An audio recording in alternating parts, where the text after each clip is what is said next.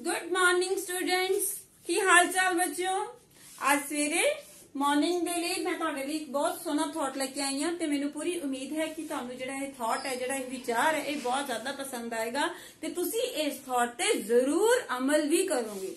ਹਾਂਜੀ ਬੱਚਿਓ, ਸੁਣਦੇ ਹਾਂ ਆਪਾਂ ਥਾਟ ਕੀ ਹੈ। ਰੀਡ ਕਰ ਰਹੀ ਹਾਂ ਤੁਹਾਡੇ ਲਈ।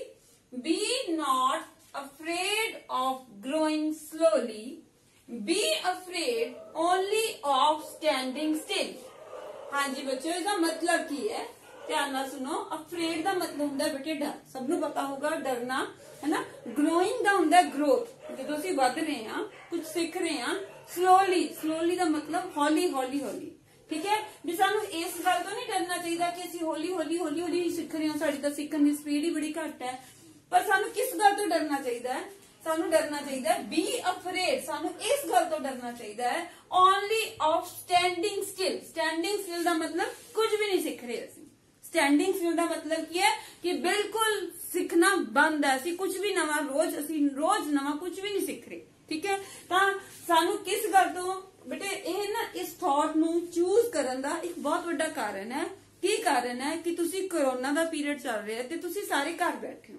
ਤਾਂ ਕਈ ਬੱਚੇ ਨੇ ਜਿਹੜੇ ਬਿਲਕੁਲ ਜਿਨ੍ਹਾਂ ਦੀ ਇਹ ਵਾਲੀ ਹਾਲਤ ਹੈ। ਸਟੈਂਡਿੰਗ ਸਟਿਲ ਮਤਲਬ ਉਹਨਾਂ ਨੂੰ ਕੰਮ ਭੇਜ ਰਹੇ ਹਾਂ ਅਸੀਂ ਤੇ ਉਹ ਸਾਨੂੰ ਕੋਈ ਰਿਸਪਾਂਸ ਨਹੀਂ ਦੇ ਰਹੇ। ਪਰ ਉਹ ਉਹਦਾ ਮਤਲਬ ਕੀ ਹੈ, ਉਹ ਬੱਚਿਆਂ ਨੂੰ ਡਰਨਾ ਚਾਹੀਦਾ ਹੈ। ਕਿਉਂਕਿ ਜੇ ਉਹ ਕੰਮ ਨਹੀਂ ਕਰਨਗੇ, ਹੈ ਨਾ ਉਹਨਾਂ ਦੀ ਗਰੋਥ ਜਿਹੜੀ ਹੈ ਉਹ ਰੁਕ ਜੂਗੀ। ਉਹ ਜ਼ਿੰਦਗੀ 'ਚ ਕੁਝ ਵੀ ਸਿੱਖ, ਨਵਾਂ ਨਹੀਂ ਸਿੱਖ ਪਾਣਗੇ। ਹੁਣ ਆਪਾਂ ਨੂੰ ਕੀ ਪਤਾ ਕਰੋਨਾ ਦਾ ਪੀਰੀਅਡ ਕਿੰਨਾ ਲੰਬਾ ਚੱਲਣਾ ਹੈ ਹੈ ਆਪਾਂ ਨੂੰ ਤਾਂ ਕੋਈ ਪਤਾ ਨਹੀਂ। ਤਾਂ ਆਪਾਂ ਨੂੰ ਇਹ ਜਿਹੜਾ ਸਮਾਂ ਹੈ, ਉਹ ਬਿਲਕੁਲ ਵੀ ਬਰਬਾਦ ਨਹੀਂ ਕਰਨਾ ਚਾਹੀਦਾ। ਆਪਾਂ ਨੂੰ ਉਹਨਾਂ ਬੱਚਿਆਂ ਤੋਂ ਪ੍ਰੇਰਣਾ ਲੈਣੀ ਚਾਹੀਦੀ ਹੈ, ਜਿਹੜੇ ਬੱਚੇ ਹਰ ਰੋਜ਼ ਕੰਮ ਕਰ ਰਹੇ ਨੇ ਡੇਲੀ ਕੰਮ ਕਰ ਰਹੇ ਨੇ, ਚਾਹੇ ਉਹ ਘਰ ਬੈਠ ਕੇ ਥੋੜਾ ਸਿੱਖ ਰਹੇ ਨੇ, ਜ਼ਿਆਦਾ ਸਿੱਖ ਰਹੇ ਨੇ। ਇਹ ਗੱਲ ਮਹੱਤਵਪੂਰਨ ਨਹੀਂ ਹੈ।